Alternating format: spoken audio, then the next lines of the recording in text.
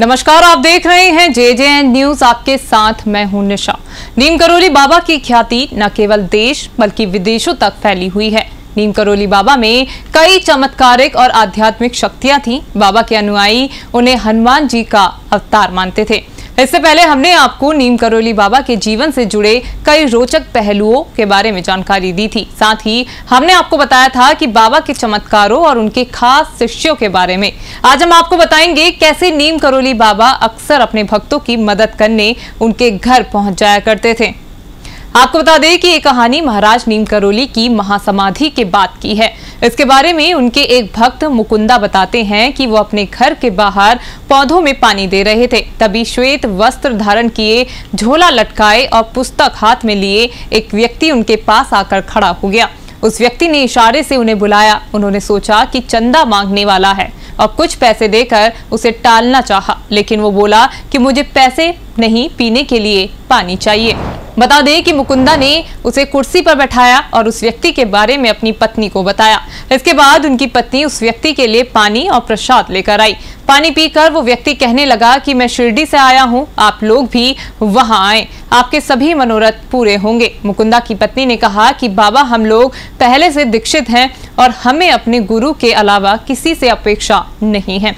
हमारे गुरु नीम करोली महाराज हैं, तब वो व्यक्ति बोला, ये तो बड़ी अच्छी बात है, गुरु भक्ति से इंसान को सब कुछ प्राप्त हो जाता है। वो फिर बोला, तुम्हारे तीन बेटे हैं, उनमें से दो तो ठीक है, पर एक थोड़ा चंचल है।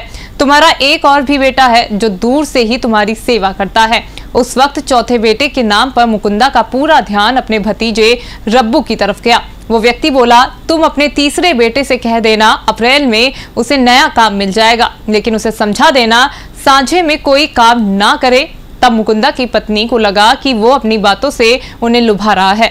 पत्नी ने उसके झोले में जाते हुए कुछ फल और ग्यारह रुपए डाल दिए।